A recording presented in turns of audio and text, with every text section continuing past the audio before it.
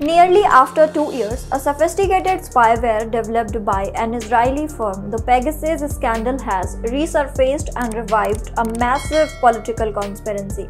Last we heard of this snooping malware was back in 2019 when it started extracting WhatsApp chats from the phones of journalists and activists. Well, it's back in the news. While this is still a developing story and several details are still not available to us.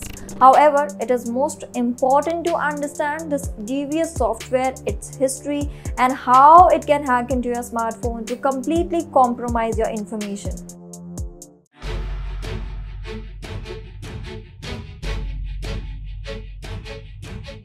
What is Pegasus and who is behind it? Pegasus is a type of spyware developed and sold by Israel-based cyber intelligence and security company NSO Group and goes by other names like QSuite and Trident that was founded in 2010. Spyware is essentially a software that secretly monitors and collects information about your online activity, data on your device, and a wide range of personal information.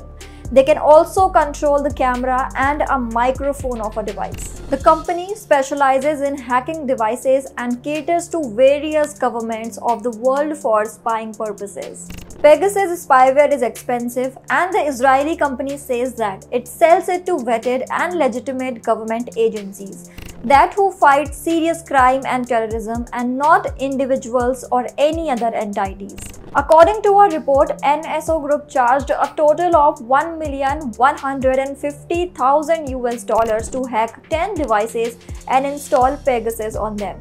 That sure is a lot of money, but it is still a fairly accessible price for the big guns in the market. The spyware is said to be capable of infiltrating both Android and iOS devices and tries to hack into the target's mobile devices, including using zero-day exploits. Pegasus first gained limelight in 2019 when some journalists and activists found out that their phones had been compromised by the spyware. What's scary about this spyware is that this happens without any knowledge and interaction by the victim because Pegasus can make its way into your phone without even your noticing and then turn into a surveillance device.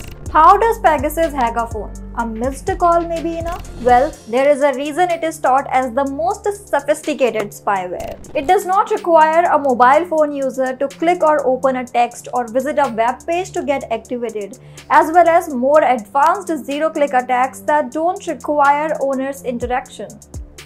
It works very secretly without raising any red flags. And the biggest problem is that it doesn't take much to infect a phone with a spyware like Pegasus.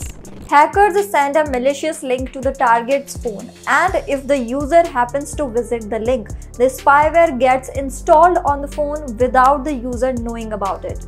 Besides, there is another way of installing Pegasus through a security bug in voice calls on WhatsApp. The hackers can also install this spyware just by giving a missed call to the target's phone.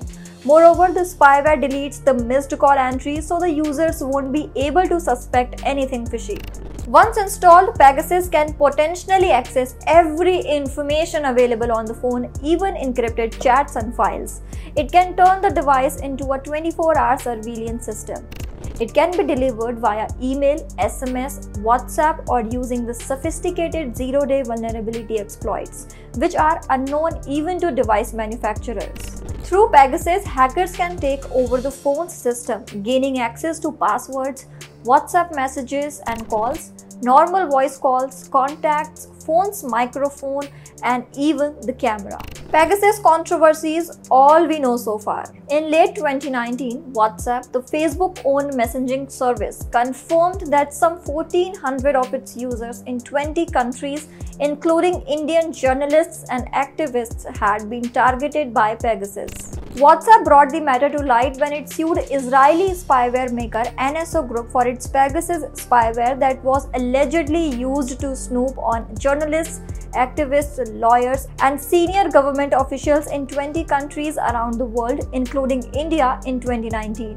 WhatsApp has also not said anything about who was behind the cyber attack and illegal snooping. NSO Group has also denied any wrongdoing and the company claims it only sells the spyware to vetted and legitimate government agencies. How to protect yourself from such spyware? There are a few ways to protect yourself from being subjected to the Pegasus spyware attack. Do not answer WhatsApp calls from numbers outside your contact list. Besides, it's recommended to not pick calls from unknown networks as well.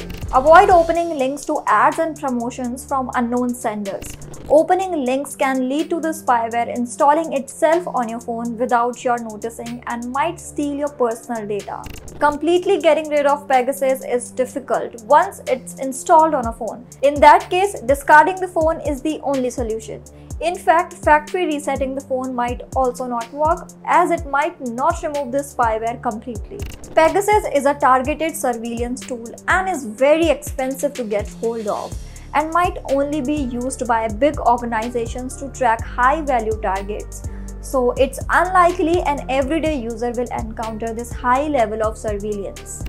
But with all this in light and not to forget all the previous data breaches, we would like to leave you with a question. Is it right for anyone to put a price on your privacy? We hope you like this video. For more content like this, please subscribe to our channel and tune in next Friday for another exciting video.